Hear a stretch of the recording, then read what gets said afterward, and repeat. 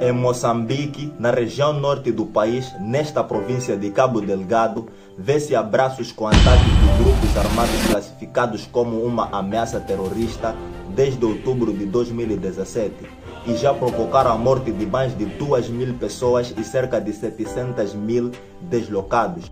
Segundo as Nações Unidas, apenas uma em cada 10 das famílias deslocadas em Cabo Delgado tem uma dieta adequada, pois estas famílias deslocadas chegam sem nada e em grande número. Só para contextualizar, a província de Cabo Delgado é bastante rica no subsolo, sendo este um dos maiores depósitos de rubi no mundo. Não só é abundante em grafite, turbalina e urânio, e recentemente foram descobertas na região reservas de gás natural e foi implementado um mega projeto para sua exploração pela empresa Total, uma gigante indústria francesa de energia. As autoridades moçambicanas dizem não saber quem são esses insurgentes, nem mesmo qual deve ser a sua motivação. Mas será que isso é verdade? Haviam sinais de que um certo grupo extremista radical estava nascendo em Cabo Delgado muito antes do primeiro ataque em 2017. Até porque o Edil, ou melhor, o prefeito de Mocimba da Praia, avisou que um certo grupo estava recrutando jovens e que isso representava ser uma ameaça à paz na área assim como os líderes muçulmanos alertaram sobre isso. E em 17 de novembro, as autoridades deram ordem ao encerramento de certas mesquitas por se suspeitar ser frequentado pelo grupo radical. Os ataques começaram no dia 5 de outubro de 2017, quando cerca de 30 homens armados e desconhecidos atacaram três postos policiais no distrito de Mocimba da Praia matando cinco pessoas e ferindo mais de 10 delas. Desde então, a província de Cabo Delgado deixou de viver na paz e na tranquilidade.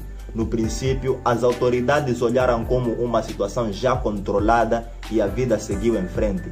Infelizmente, foi desta forma que um grupo extremista radical do islamismo, conhecidos pela palavra Al-Shabaab, que significa juventude, tomou forma e começou a assolar de verdade em 2018, houveram um total de 10 ataques reportados e no final do mesmo ano, Atanásio Mutenke, ministro da Defesa, afirmou que os ataques não ameaçam a paz.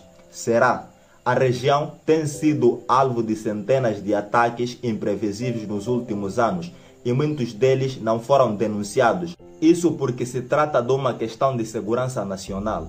Porém, um dos últimos ataques em especial acabou levando este fenômeno para a mídia global, o ataque a Mocimba da Praia, onde se encontra um mega projeto de gás e com esta guerra levou a empresa Total a suspender o andamento do projeto multibilionário na área e desencadeou a intervenção militar de tropas de outros países africanos, em especial as forças ruandesas, e aos poucos vão trazendo de volta a normalidade.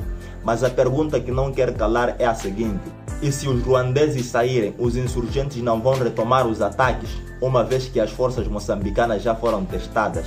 Atualmente, milhares de pessoas encontram-se longe das suas casas, passando fome e traumatizadas. Não se sabe qual é o número exato das pessoas que fazem parte desse grupo.